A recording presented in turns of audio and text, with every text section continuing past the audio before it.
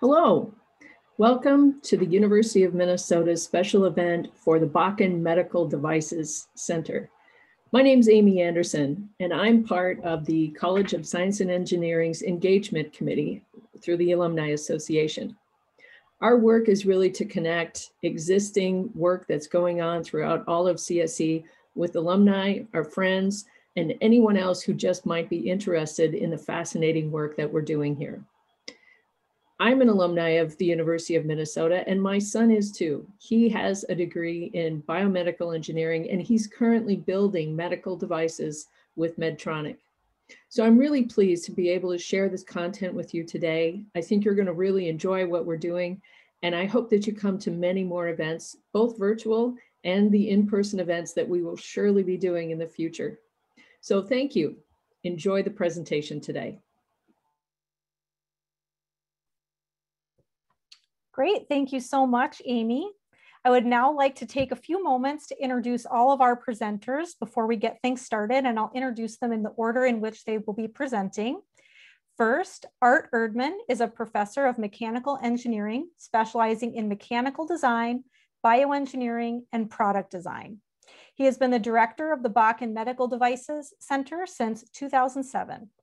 Art has published more than 350 technical papers, written three books, holds more than 40 patents, and shares with his former students nine Best Paper Awards at international conferences.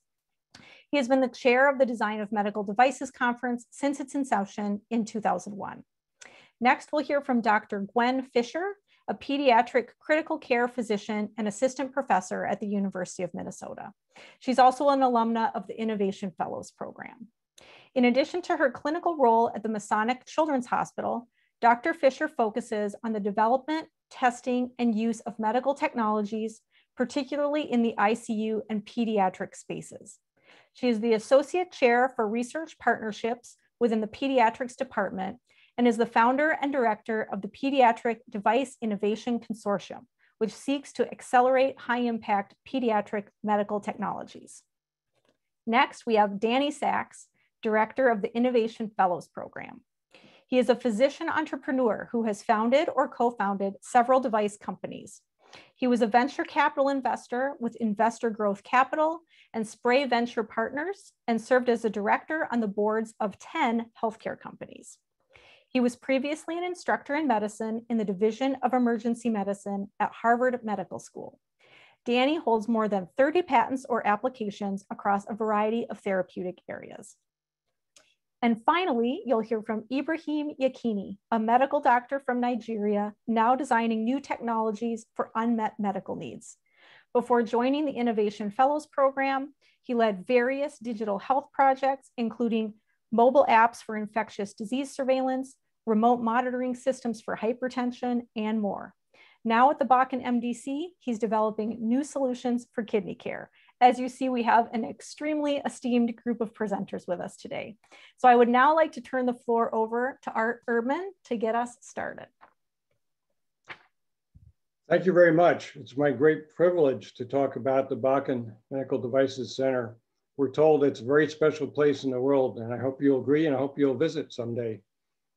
We're all about innovation and collaboration. We collaborate with industry uh, where they might bring in unmet clinical needs, uh, and we form teams around that, or we work with our colleagues in the medical school and the rest of the uh, health sciences area. Next slide. Our mission is very similar to the mission of the university, that is research, teaching, and outreach. We're part of the Institute for Engineering and Medicine. In the research area, we will surround uh, engineering teams with clinicians and uh, go after what is the, the, unmet need of the day, whether it come from industry or from our internal folks. In education side of things, uh, we do a lot of training of the College of Science and Engineering undergraduate population. We have lots of intern teams, most of them volunteer intern teams. Uh, we have senior design programs from the uh, departments of mechanical engineering and biomedical engineering that use the center. And we of course have the fellows program that Danny will be talking about shortly. Our outreach would include uh, things like the state fair, uh, hundreds and hundreds of tours and um, events like this. Next slide. We've had a lot of milestones along the way. Very happy to say. Um, in 2001, we had our first Design of Medical Devices conference. This year, we're celebrating our 20th anniversary. Lots gone uh, along the way that uh, we want to talk about. In fact, um, we will have a celebration event um, on the third day of IEM Innovation Week, which would be the 14th of April, where we're going to go from five to seven, and we'll have a band and we'll have lots of review of history of what's gone over those years. We moved in, into our new space in 2013. You'll see a little bit of that shortly. And we are very privileged to have Earl E. Bakken's name associated with our center starting in 2017. It really upped um, the challenge for us to, to be innovative uh, like he set the tone for when he founded Medtronic. Next slide. We're often asked, um, do you work on cardiovascular devices or orthopedic or what? Well, in, in reality, we have a, a well-tuned system of uh, medical device design that can be applied across many disciplines. On the slide here, you'll see many of those. And I can tell you that within the Bakken Center, we've had at least one project in every one of these, these disease states in the last five years. So it's a very busy place, but a very fun place to be. Next, please. I'm going to tee up a, a walking tour for you. On the left-hand side, you'll see a floor uh, plan of our center. It's actually about 5% of an old parking garage that the medical uh, professionals used to park in, and it was decommissioned. Uh, even though it's 5%, it's a very, very special place.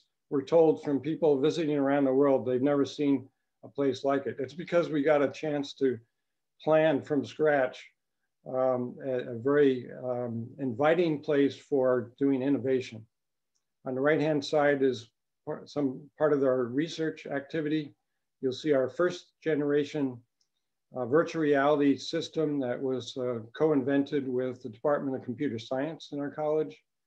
Uh, it allows us to bring in custom uh, and patient-specific anatomy and study that anatomy or use it for surgical planning or actually the original reason for the funded research on this was to develop medical devices virtually inside virtual environments before you even uh, do anything else. So um, next we will be moving to the tour and just to give you an idea, uh, can we go back a slide? Sorry.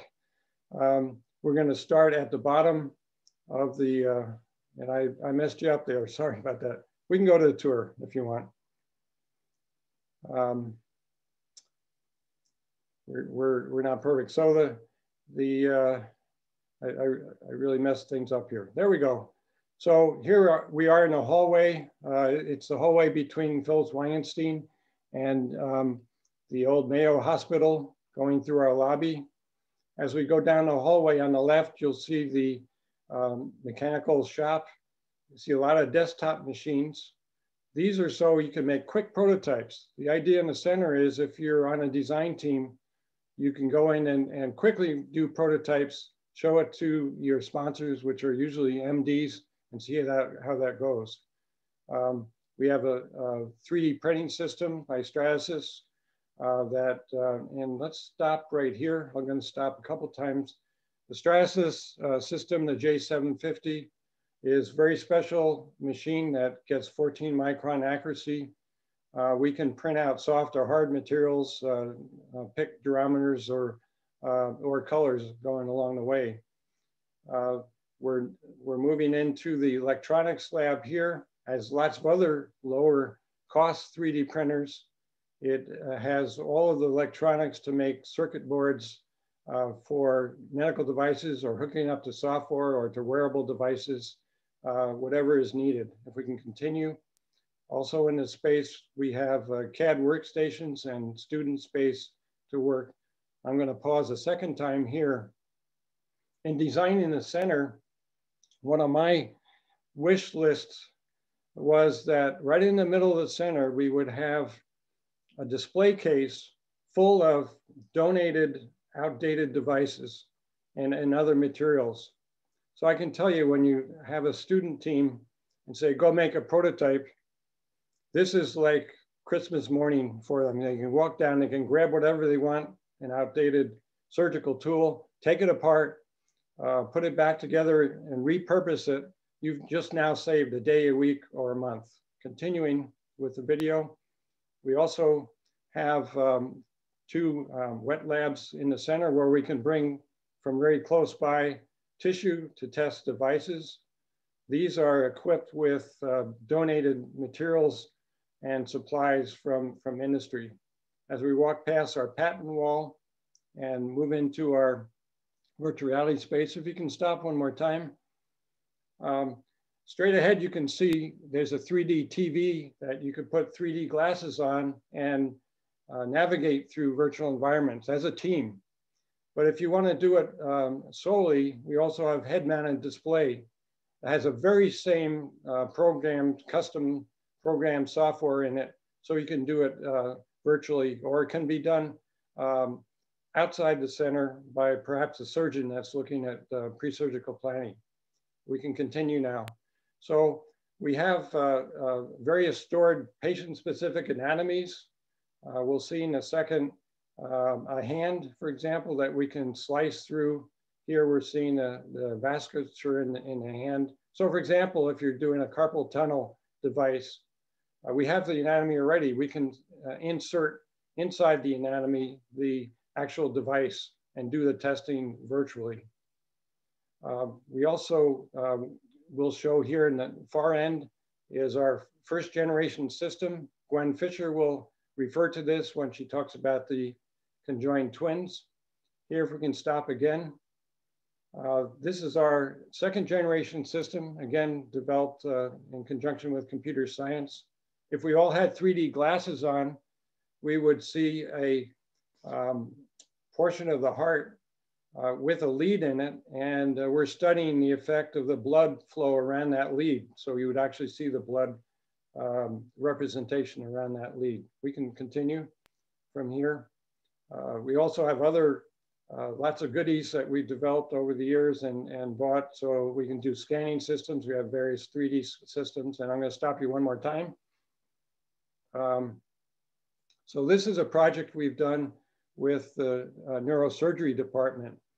If, uh, if a patient is going to have a deep brain stimulation intervention, they will go over to the seven Tesla machine, uh, MRI machine, and if you can turn on a little bit more, um, go back to the video.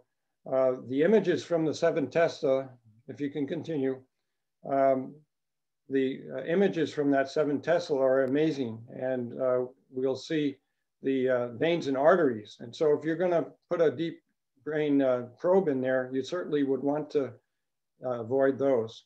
Here we have a, a fellows team in their conference room working on prototypes.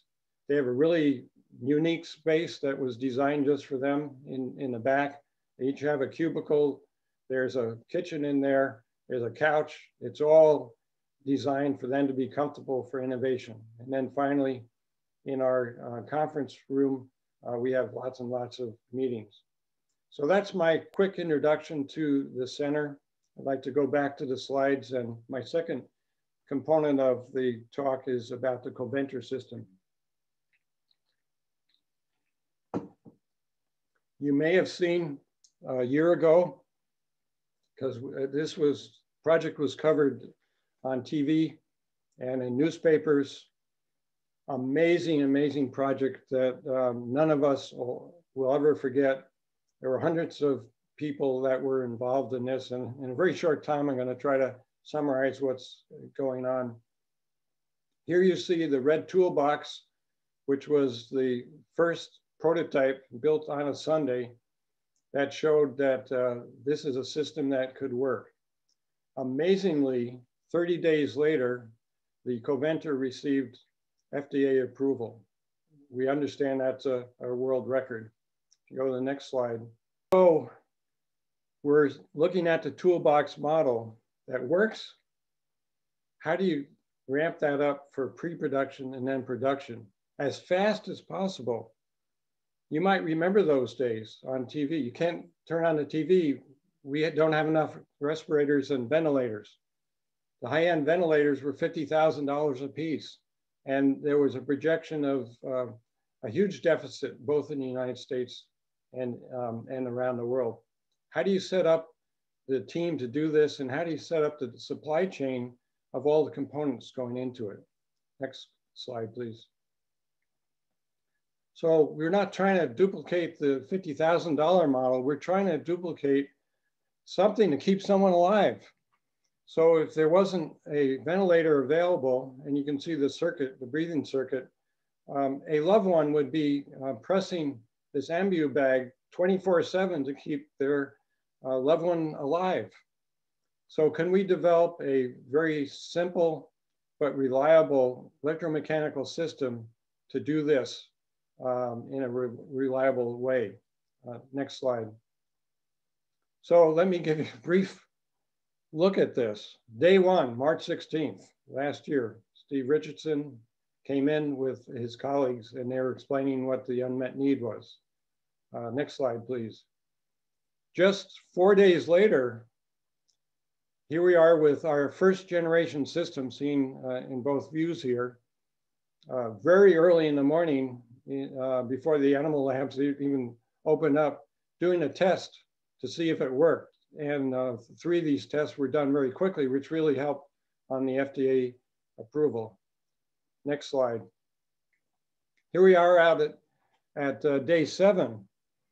We're already on generation 3.2 and UPS was ha every half hour delivering components from around the state and around the country to build units. Um, incredible.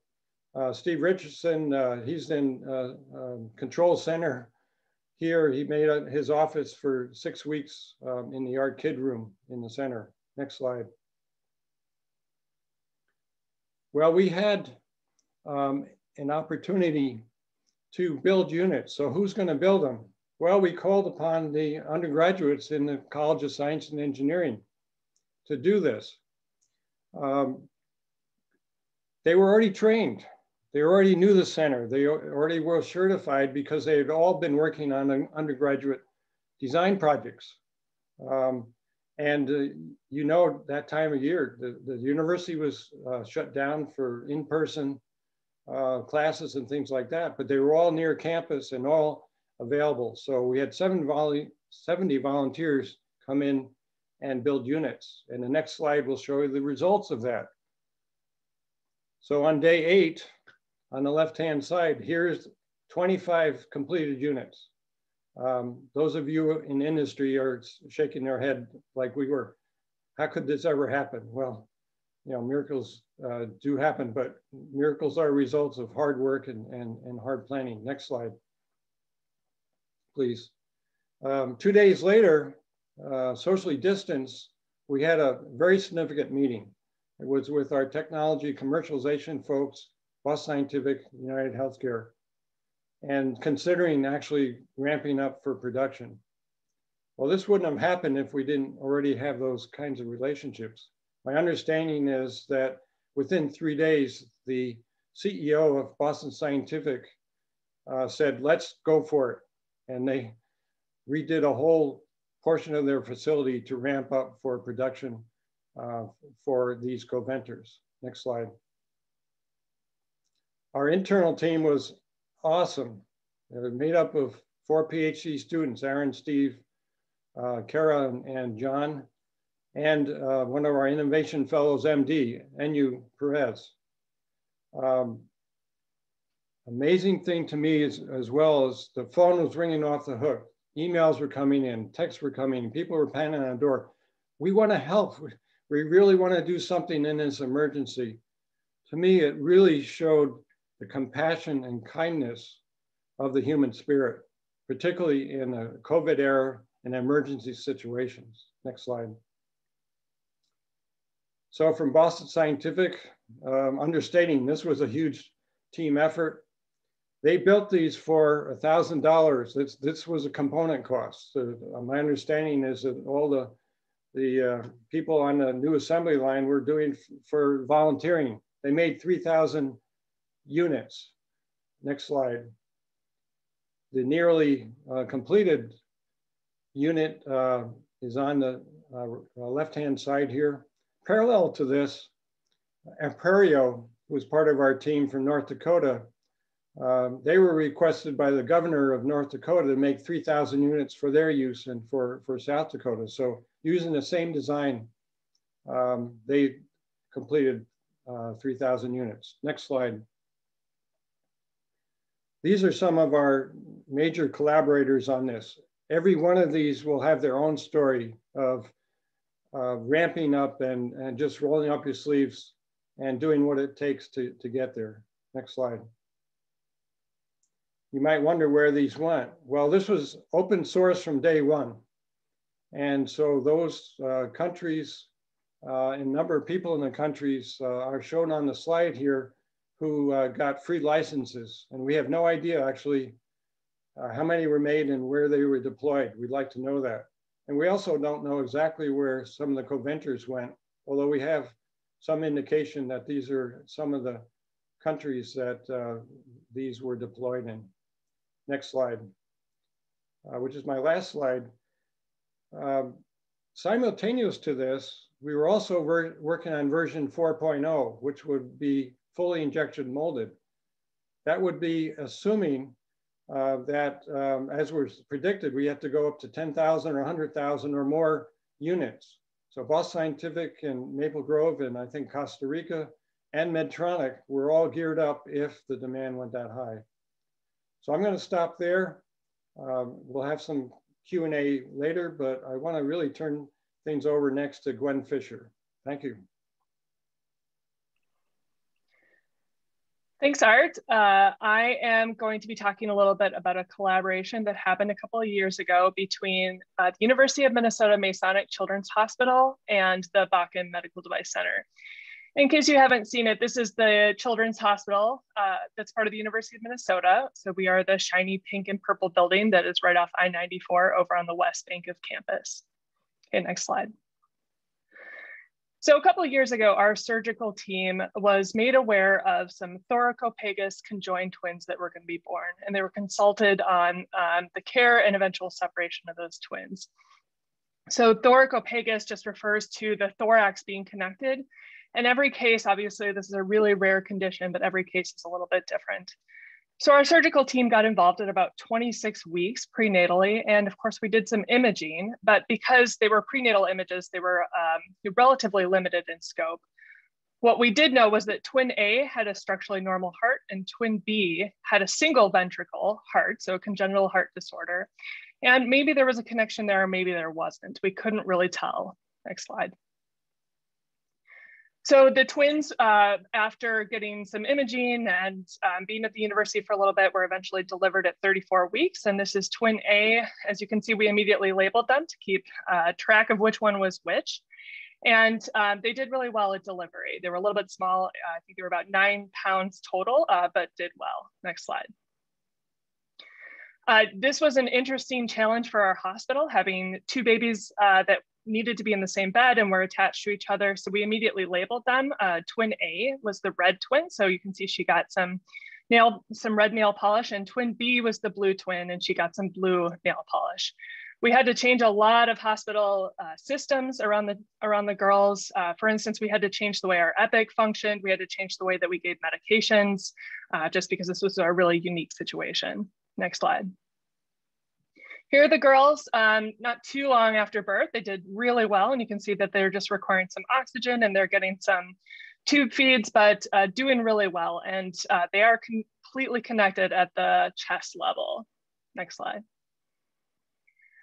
So the girls were doing well. We had some time to do some initial imaging. So we did some CT and uh, an MRI. And what we discovered uh, was that they were connected in several places by the liver and other vessels. So they really shared a lot of um, vascular uh, output. And one thing that wasn't clear was whether there was a connection at the heart or not. So you can see by these images that the hearts are pretty squished together, but the imaging just wasn't detailed enough for us to determine whether there was connections at that higher level or not. Next slide. So we needed some help not only to elucidate whether there were connections there or not, but also to do some really complex surgical planning. So we went over to the Medical Devices Center and talked through this case with Art and all the folks over there. Next slide. So we determined that one of the best ways to help our really uh, complex surgical and medical team was to do some stereoscopic VR, which was the system that Art showed you earlier. And essentially, we made models of both the heart, the skeletal system, and the organs, and uh, we color coded those based on each twin. Next slide.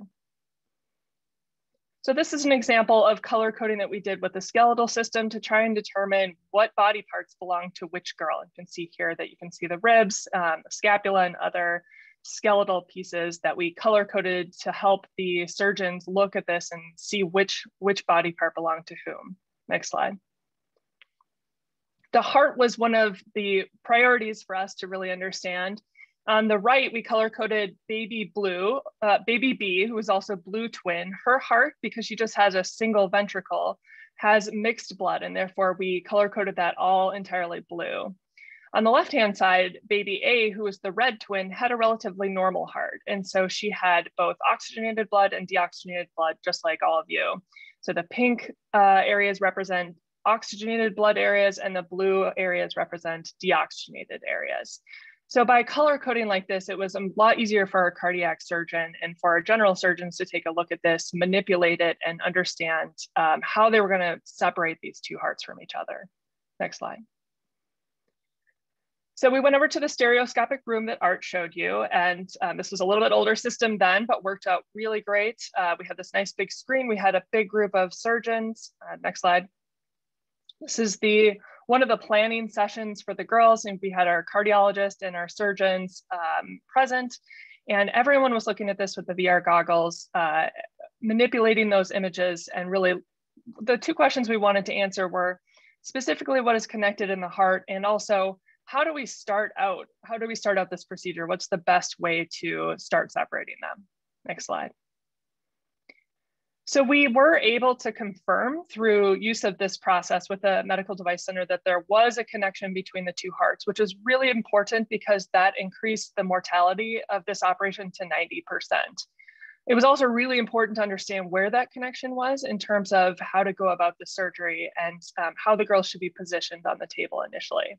So that is the picture showing right there that we definitely had a connection. Next slide.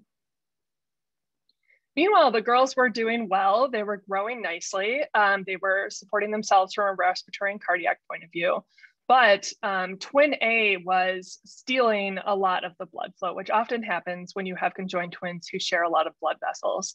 So twin A was getting very hypertensive, needing a lot of medication, and twin B um, was actually starting to go into kidney failure. And uh, this was complicated by the by us not being able to give medications to treat either of those issues that didn't then go to the other twin. So it was clear that it was time to go to the operating room with the girls and get them separated. Next slide. So this is the operating room. This is um, probably one of the more most complex things we've done, at least on the West Bank of the hospital. This required two separate, uh, well, actually more than two separate OR teams since this was a really long surgery. And the red hats are all folks who were part of baby A's team. And all the blue hats were part of baby Blue's team. We needed two separate OR teams um, that initially started with the girls together. And then as we separated them, one of the twins went to a separate OR. Next slide. So as you can see, there were a lot of people involved. It was a very long surgery, almost a full day of, of separating. Um, teams took in shifts and uh, they practiced this almost a dozen times to get this right before the girls went into the OR. Next slide. So this is our team making the initial cut. And this is one of the main things that, that the uh, sessions at the Medical Device Center really helped elucidate was where and how to position the girls to get started. So initially we had planned to have the girls on their stomachs. But after reviewing the 3D images at the Medical Device Center, the surgeons decided to start with the girls on their backs. And that really helped get uh, better access to the cardiac tissue that needed to be separated. Next slide. And this is our cardiac surgeon pointing out that there was in fact an, a communication between the two hearts. And there you can see it, it's actually pretty big. And uh, so the surgeon was able to separately cut, cut that and separate the girls at that time. But had we just discovered that surprise uh, during the surgery, that could have been a very bad outcome. Next slide. This is the girls immediately after surgery. Um, they came back, it was a very long surgery, uh, but they did great. Um, of course, they were in the ICU for, for quite a while recovering and um, getting more stable. So, uh, but they, it was the first time that they had been separated. Next slide. Here are the parents, we were able to um, get the girls back into the same bed occasionally. They were so used to being with each other uh, that they actually were a lot calmer when they were both in the same bed. So um, the, the less sick of the two twins came over to visit her sister frequently and um, they were with us for quite a while recovering, but did always enjoy being together. Next slide. This is twin A, and this uh, she was actually she's the one who had the normally structured heart. She was with us just for a few weeks, almost uh, six to eight weeks, uh, recovering, learning how to feed, and healing all of her wounds from that huge surgery. She did great. Next slide. Twin B is the uh, infant who had a major congenital heart defect. Um, she also did extraordinarily well considering that she had over 90% likelihood of mortality for this surgery. She required a lot of TLC and was actually in our ICU for 14 months uh, before she finally discharged. And this is her on her discharge day. Next slide. And this is from Friday. The girls are doing great. They just turned four. Um, ironically, mom likes to dress them in their, their opposite colors. So the one on the left, the blue, is actually twin A, the red twin, and the one on the right is the blue twin. Um, they are both growing up really nicely and um, have been at home for now months and months and doing really well. Next slide. So mom tells me that the girls are now counting, they're subtracting and adding. Um, they're both going to school. Um, they both love to sing and um, their favorite activity is bossing around their brothers, not surprisingly. Next slide. So we just wanna thank everybody at the Medical Device Center for the extraordinary work to get these twins safely home. Um, and I also wanna thank Dr. Saltzman, who was the head of this surgical team, who, uh, who um, did an extraordinary job getting these twins uh, separated and home. So thank you. And I'm gonna pass it off to Danny now.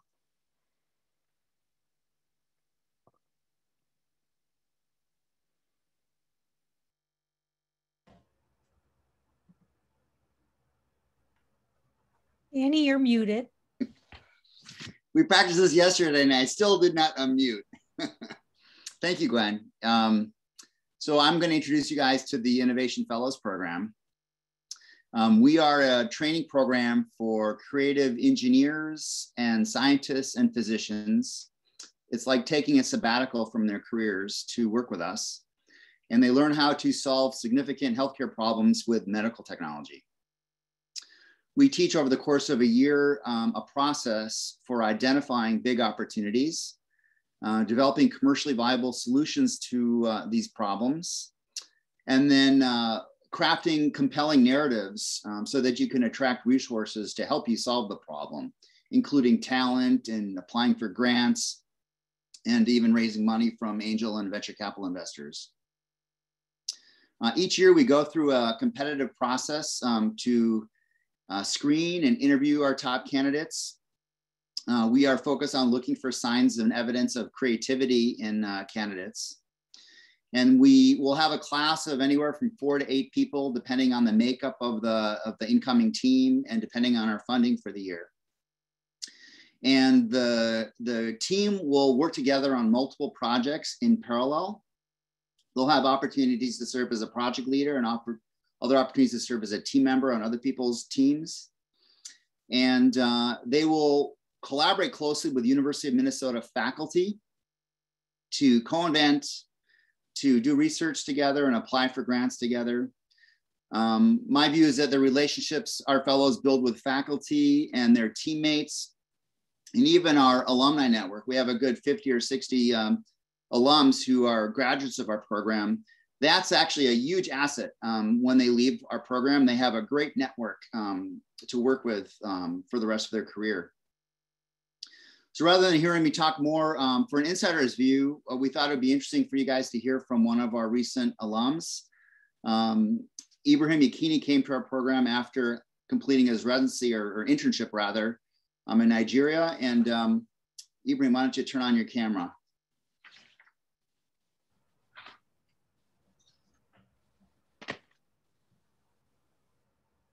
Are you there? There you are. Hi. Um, so I, uh, this is just a little bit of a, a, back and forth with Ibrahim and feel free to send more questions. Um, we can ask him in the Q&A. Ibrahim, why don't you share with people um, what you were doing prior to applying to the Innovation Fellows Program? So I worked in public health and that started during the Ebola outbreak in West Africa in 2014. Um, I was a senior in medical school at the time, and I volunteered with the Nigerian CDC. Uh, I helped build a system that would screen the population for Ebola symptoms and then triage to treatment centers. And then after med school, you did an internship, I understand, and then you had an interesting job. What was that? Yeah, so after my internship, I got recruited to apply what we learned during the Ebola outbreak to other infectious disease conditions. So Lassa fever, malaria, cholera, and tuberculosis. Mm-hmm. So I led a team of 28 people. We developed a crowdsourcing platform to help improve detection of those disease conditions. Neat. So why would you leave a budding career as a public health officer to apply to our program? I liked um, physiology and I wanted to be able to develop new therapies and not just improve processes. So I started looking around the world for programs like the one at Stanford, Oxford, and the fellows program here at the U. And why were you attracted to our program? So it was during the interview process, which was challenging, but it was also a lot of fun. And I, I like that the MDC allowed uh, fellows to participate in a curriculum besides just working on a project. So fellows got to teach themselves things every week. And I also like that you had the flexibility of choosing a project you were passionate about. Like what in other programs, for instance, you could get assigned to a project and you'll have to work on that throughout the fellowship year. But that was different in the MDC. Mm-hmm. And you arrived at uh, focusing on chronic kidney disease. Um, how did you end up focusing on that problem? So it started with the assignments you gave us at the beginning of the fellowship. So then we had to look up databases for we creating top 10 disease list for things like mortality, um, hospital admissions, um, cost, and medication use. So chronic kidney disease kept coming up on a number of those lists. And that's when I decided, okay, I'm going to work on this. Mm-hmm. And how did you get smart about chronic kidney disorders? You're not a nephrologist yourself. So I reached out to the nephrology fellowship director at the medical school. Dr. Sarah Helferin. And she invited me to join her at the clinics, grand rounds, uh, also outpatient and inpatient dialysis centers. And you ended up deciding to focus on home dialysis as your target. Um, why? So the way dialysis is being practiced today in America, Medicare can continue to pay for dialysis that way. The cost is going to crush Medicare. So compared to other countries like Australia or Hong Kong, where they figured out how to get more of their patients to perform dialysis at home. In America, we still have close to 90% of dialysis patients going to a center three times a week to perform dialysis. So I spent my time understanding what the barriers were to expanding home technologies, specifically uh, peritoneal dialysis. Mm-hmm. Okay, so you focus on peritoneal or home dialysis. What was the concept you came up with and how did you identify it? Uh, so at the walls of the fellows conference room, we drew the 25 steps that a patient will have to perform for therapy. And we took that flow chart and then went and spoke to peritoneal dialysis nurses in the Twin Cities, over 30 of them. And there was a recurring pain point, and it was the risk of contamination when patients were connecting for therapy. So that contamination could lead to infection that could kill the patient. So we decided to focus on solving that problem. Mm-hmm. Okay, so if I identified the problem, how did you conceive the solution? So our team had all the necessary skills that we needed. We also had all the resources needed at the MDC. Um, we had someone like uh, Amy, one of the fellows who was an ICU nurse, but also very crafty. She was able to come up with quick prototypes. Uh, there was Kieran, a medical doctor. He came up with the idea that, okay, let's use magnets to connect the tubings. And there was Yashin and Aaron, they were engineers at the MDC, and they helped come up with the CAD designs, 3D prototypes, and there was Tom Vicker, an alumnus of the Fellows Program. He helped us with reducing the cost of goods and redesigning so we can manufacture at scale. Mm-hmm. Great. Um, maybe Joel can uh, show a slide and you can explain what your concept was or is. Okay, so on the left of the screen is how peritoneal dialysis is performed today. You have a tubing that comes from the abdomen, another tubing from the fluid source. So a patient will have to disinfect both tubings, remove the cap on both, and connect for therapy while being careful not to touch the hands because that could lead to contamination. And there's a lot of infection risk with this process. So what we did with our design, with our device is the patient can perform therapy in such a way that the uncapping, connection for therapy and recapping, everything happens within a sterile protective enclosure. And in that way, we prevent touch contamination. Neat. How did you prove that the idea works? So we conducted bench tests with fellows and university students that we recruited, and that helped us prove that the device prevented touch contamination. And we also worked with uh, Dr. Ryan Hunter's lab at the microbiology research facility. And we were able to prove that the device prevents uh, bacterial contamination. When did you guys first get the idea that you're onto something? So Danny, was when you asked us to apply to this MedTech investment conference.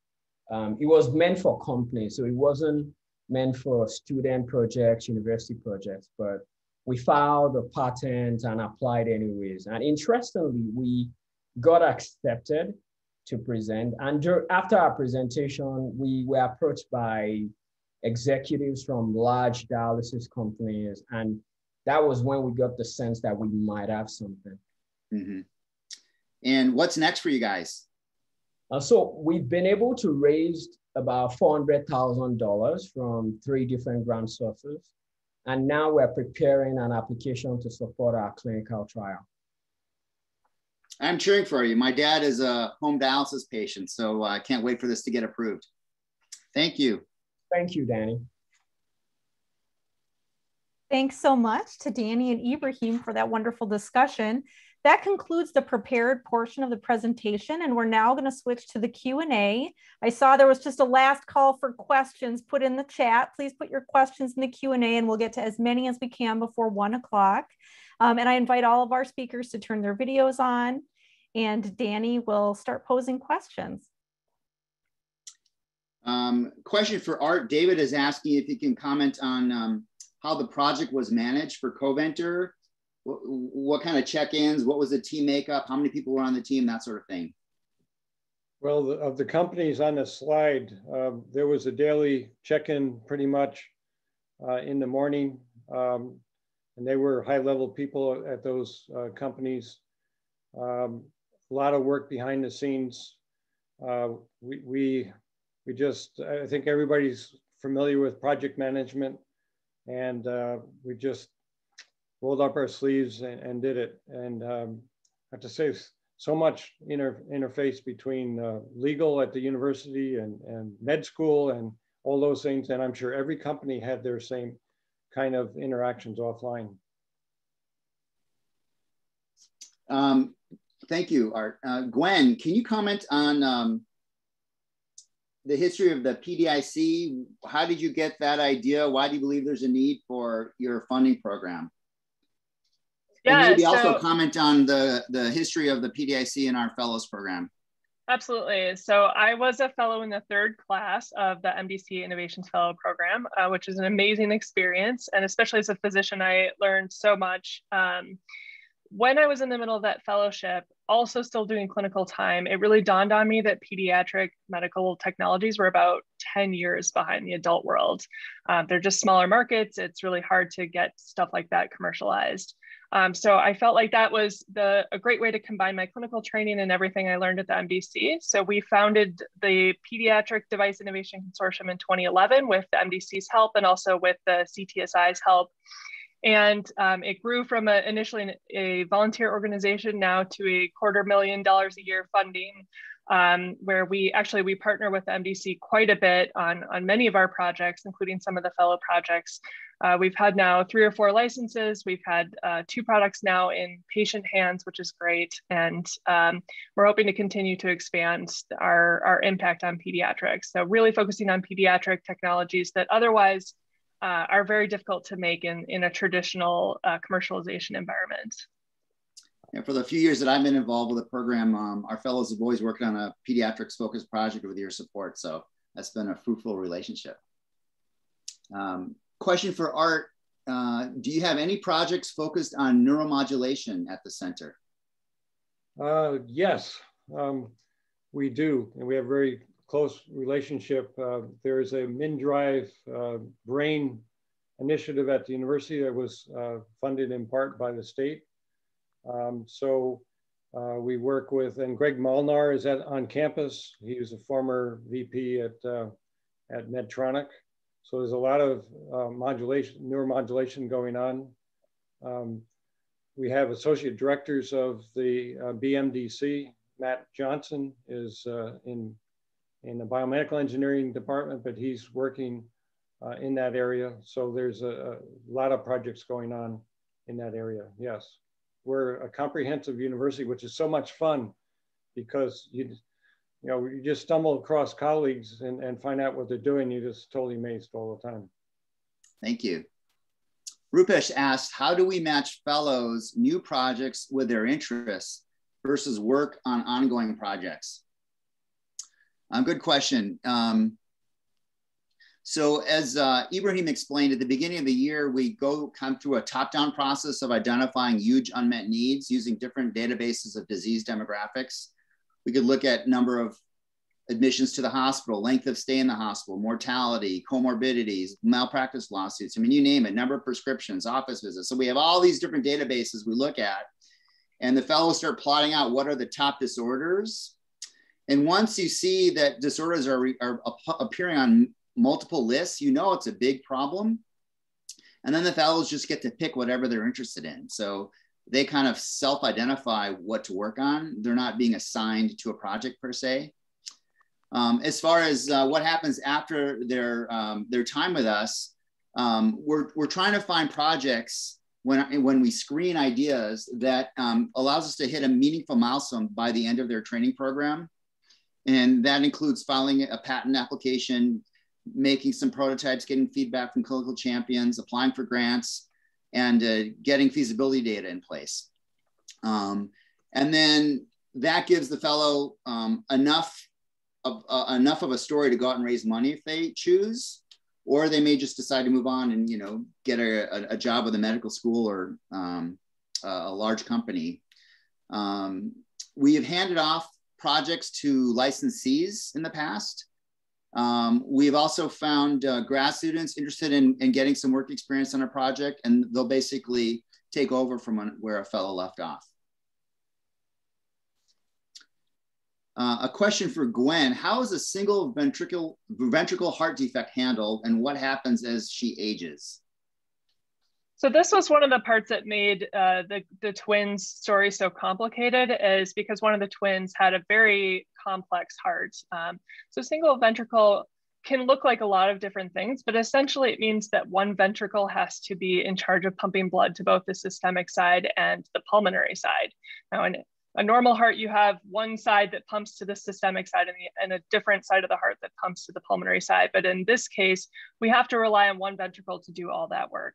So for twin B, um, part of the complex complexity of separating her out was that her structures uh, didn't look normal and weren't acting normally. So at the time, the cardiac surgeon at, on the very first day of surgery placed what's called a pulmonary arterial band, which prevents too much blood flow from going into the lungs. So we temporized her that way. Um, and then about two years later, she underwent a, a major surgery to allow better passive blood flow to her lungs. And she will be good with that for a little while. And then she will need one last big surgery to um, finish off the to finish off her three surgeries. Um, and then she'll be good. She there are lots of adults out there who have a condition just like hers, and um, the heart works really well for quite a while in that in that state. So she's had a lot of surgeries, but she's a very resilient little girl. So doing well so far. Thank you. Um, a question for Art do you have any interest in comfort care improvement products? Of course. and we have such a broad spectrum of projects uh, from, from the undergraduate students that are just learning as, as they go. We have a lot of wearable uh, projects going on with sensors and actuators. We have a Parkinson's project with uh, Kara, which is uh, a PhD student and worked on the, the um, um, Coventor project. Um, so uh, the whole spectrum is, I think, within the umbrella that we would be caring about. Also saw a question about the address of the center. Uh, you can get to that on the webpage. And are we open? Uh, limited uh, groups, we are starting to do some tours. So that'd be maybe two or three people. And hopefully uh, we'll open up a little bit uh, more later in the, in, this, in the spring here. Uh, Ibrahim, uh, question for you. How can people follow your progress with your dialysis project? Um, I just answered that now. So we are currently not posting details of the project, but when the time comes and it's comfortable to do that, the MDC's website, uh, the section on projects will be a good resource to kind of find out more about that actually not a bad idea for for projects that have patents filed already. Maybe we could do a seminar like this for alumni just to update people on what's going on with our fellows projects or interesting projects from the, from the center in general. Um, Ken Hafton, it's not a question, but um, I'll read it because I like it.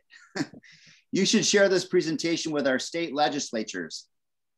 Your work speaks highly of your benefit to the state of Minnesota and how you use funding that you receive. Thank you very much, Ken.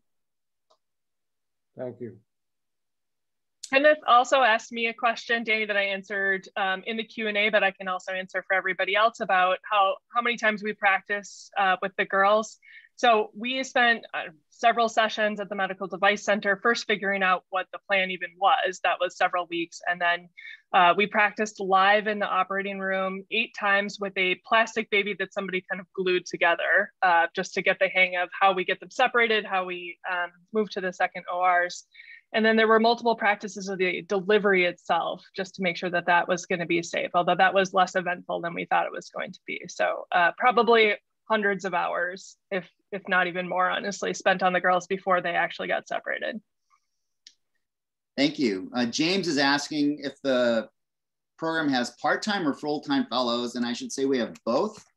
Um, our full-time fellows dedicate um, full-time, and the part-time fellows keep their day jobs, and they dedicate at least one day per week to the program, where they meet us on teams and they basically share the progress of their projects and their homework during that one day per week. Um, their responsibilities are not the same as the full-time fellows, but it's great to have the part-timers as well because um, they provide an entree to the full-time fellows to uh, industry. Um, Margaret asks, do you have advice for smaller device companies? Um, I, maybe that's a question for Art. How do people pick the brains of the talent you've recruited uh, at the MDC, Art? Well, the program and the center were funded by the state and by generous um, contributions by our uh, college and, and the university. So we serve the state, we serve the university. And uh, I'm passionate about small companies because that's our future. And uh, they're the ones that eventually uh, succeed and, and become big companies or get bought out. So uh, we work with a lot of small companies, in some cases, one person, one individual inventor. And so uh, we we'd like to engage with you. Uh, we can be of some help.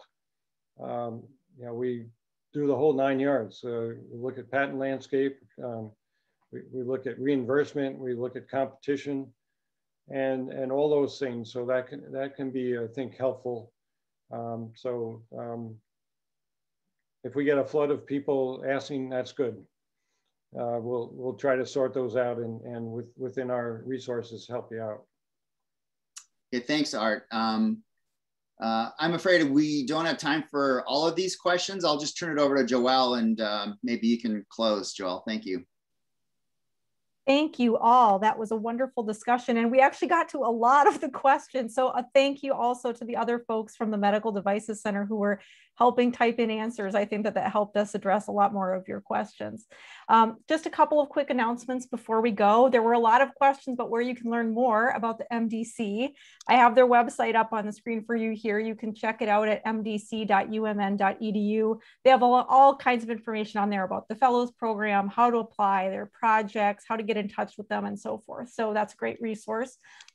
There's also a virtual tour on there that's like 14 minutes long if you want to get a more deep dive into what the facility looks like. Uh, you can also support their Coventor project. Uh, you can go to z.umn.edu slash Coventor crowdfunding uh, to make a gift to support that project. If you're interested in more ways to connect with the College of Science and Engineering, there's lots of things you can do, including some upcoming events I'll showcase on the next slide. But you can check out our website, cse.umn.edu slash alumni. We've got all kinds of information on there. And of course, right now my screen decides not to move. Okay, a couple of upcoming events. We have a lot of upcoming events in the college. These are just a few that I've chosen to highlight here. Next Wednesday on March 17th, uh, University of Minnesota President Joan Gabel is going to be having an event with uh, the university's two recently announced MacArthur Genius Grant Award recipients, one of whom is a College of Science and Engineering faculty member, Paul Dauenhauer. Um, so she will be in conversation with them at the event Impact Leaders, Creativity, Inspiration, and Possibility. You can learn more and sign up at rsvp.umn.edu slash MacArthur. On March 25th, over the lunch hour, we have the next installment of our Dean's Lunch and Learn series featuring the Department of Mechanical Engineering this time. You can learn more at z.umn.edu slash me lunch learn 2021. And on April 20 or April 14th, excuse me, we have the next installment of our Curiosity Drives Progress lecture Giants of Earth and Space, which will feature presentations about the sun and dinosaurs. And you can learn more and sign up at z.umn.edu slash giants of Earth and Space. If you have additional questions for the Medical Devices Center, you can contact them at mdcinfo at umn.edu. And you can always contact me and my colleagues at CSE alumni at umn.edu. And just a reminder, we'll be sharing the link to this presentation uh, with everyone who registered, and you can feel free to share that link with others you think might be interested. Um, and we'll also include all the links to these events, the MDC website, and so forth in that follow-up email for easy reference. So with that, I wanna give a really huge thank you to our presenters for doing such an amazing job and sharing just a ton of information in this one hour period. I can't believe how much we were able to cover. So thank you for them to them for all their time. I know it's very busy time for everyone. And a thank you to all of you for making time out of your day to attend this webinar. I hope you enjoyed it. I hope you found it inspiring. I know I did. And I know the College of Science and Engineering feels very proud to be associated with the Bakken Medical Devices Center. Uh, it's really a jewel in the University of Minnesota's crown, as I'm sure you'll all agree. So with that, I'd like to thank you all for attending today. Have a wonderful afternoon.